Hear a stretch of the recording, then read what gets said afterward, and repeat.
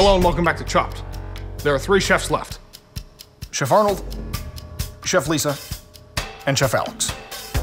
Please open your baskets. In this round, you must use scallops, Chinese broccoli, heirloom tomatoes, And as your last ingredient this round, a live hand grenade. The chefs are being presented with a unique challenge this round, as they must create an entree dish out of a very unique blend of ingredients. 30 minutes. Your clock starts now. So I open my basket and I see scallops, and I'm thinking, I know exactly what to do with these. This is a signature dish at my restaurant.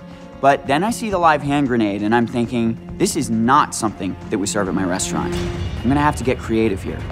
It's tough because the heirloom tomatoes have a wonderful sweetness, but the hand grenade is actually not food.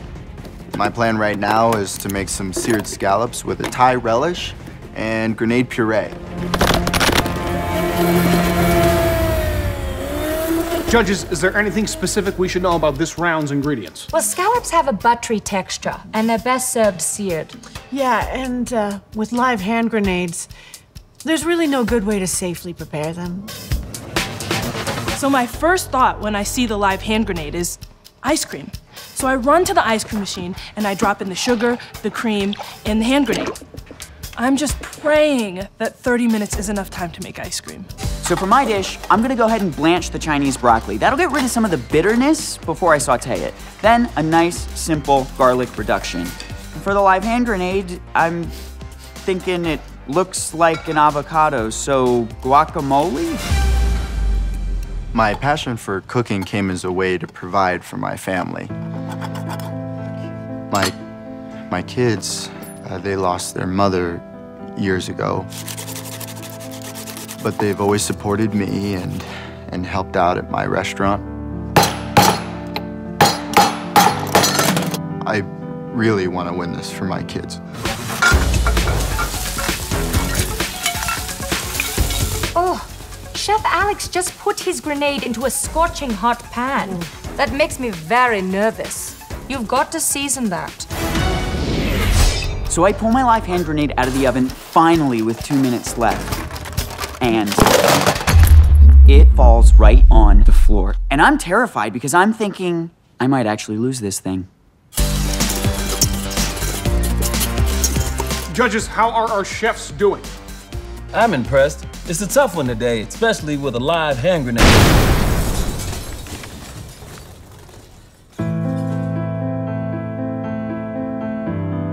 That did not sound good. Let's hope they really nail those flavors. All right, chefs, we are down to the wire. Five seconds left. Five, four, three, two, one. That is time. Hands up, chefs.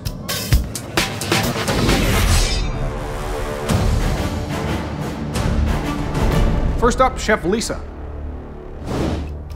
Judges, today I've prepared for you a Chinese broccoli ceviche, scalloped with truffle aioli, and of course, vanilla and mint ice cream with a chilled grenade.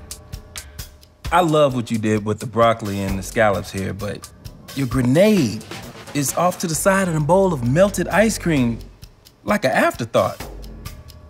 Not good. It's always tricky to do the ice cream. Thank you, Chef. Up next, Chef Alex. Chef Alex, we love what you've done with the scallops, but uh, there's no live hand grenade. What happened?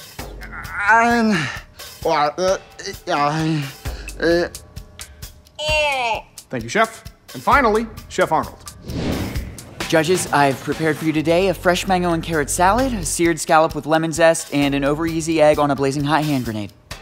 Chef Arnold, what you've done here using the casing as a heating device for the egg is truly inspired. Really inventive. Thinking to pull the pin and use it as a garnish was great.